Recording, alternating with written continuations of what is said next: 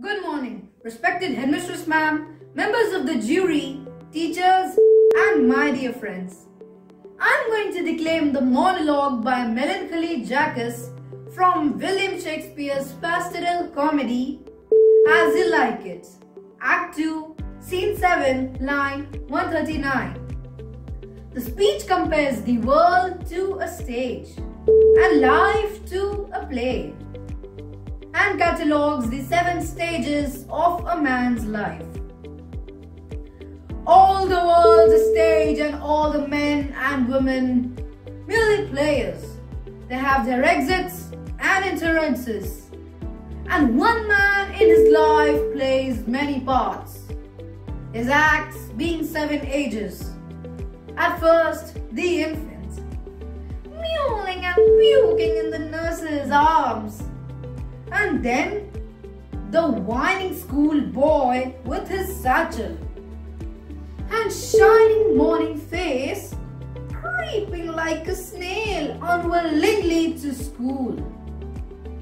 And then the lover, sighing like a furnace with a woeful ballad made to his mistress's eyebrow.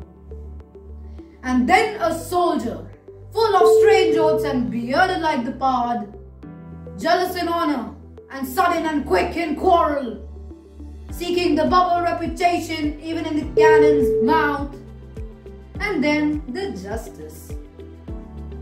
In fair round belly with good kip and lined, with high severe and bare a formal cut, full of wise saws and modern instances, and so he plays his part.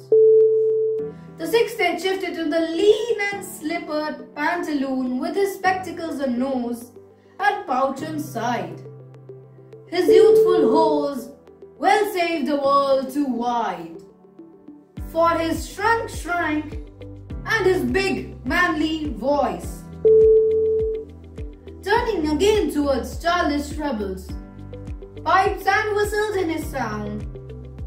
Last scene of all, that ends this strange eventful history is second childishness and mere oblivion. Sans teeth, sans taste, sans eyes, sans everything. Thank you.